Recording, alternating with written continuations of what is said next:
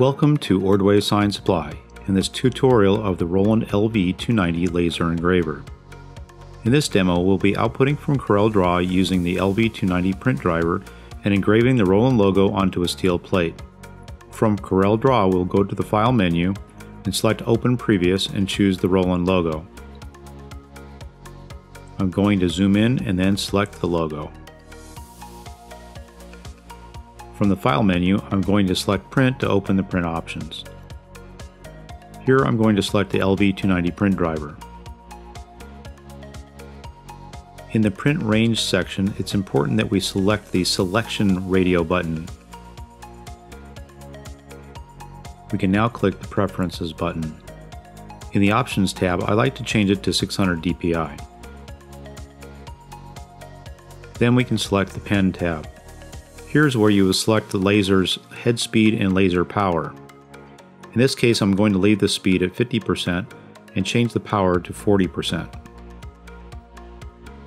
Vector data is used for cutting and raster data is used for engraving and pictures.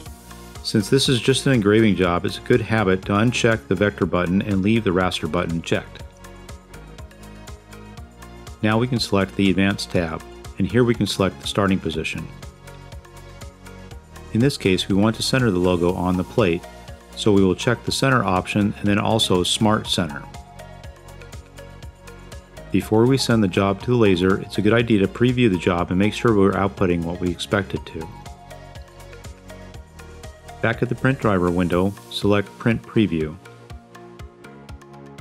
Here we can see the Roland logo. Don't worry that the page size is very large, we will designate the placement with the Smart Center function. We are now ready to output. So here we are back at the laser and it's a good idea to check and see that the file name is what you expect at the top of the display. I'm placing the piece against the ruler to square it up. First thing we need to do is set the focus. I'm putting the head over the plate and then pressing the focus button. The LV290 will then automatically set the focus height.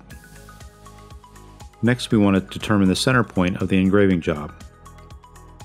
Above the F3 button there will be an SP designation which stands for Smart Center. After we press the F3 button on the panel we can start selecting the outermost points of our job. We can move the engraving head by hand to the left handmost point on the plate with a red dot. We can then press the F4 button. We then place the red dot at the right hand most point and press the F4 button again. We do the same at the topmost point, press the F4 one more time, and then place the head at the bottommost point with the red dot and press F4 one more time.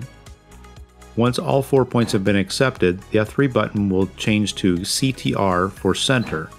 We can press the F3 button at this point and the laser head will move to the center of all four points. We are now ready to laser engrave. Let's press the Start button.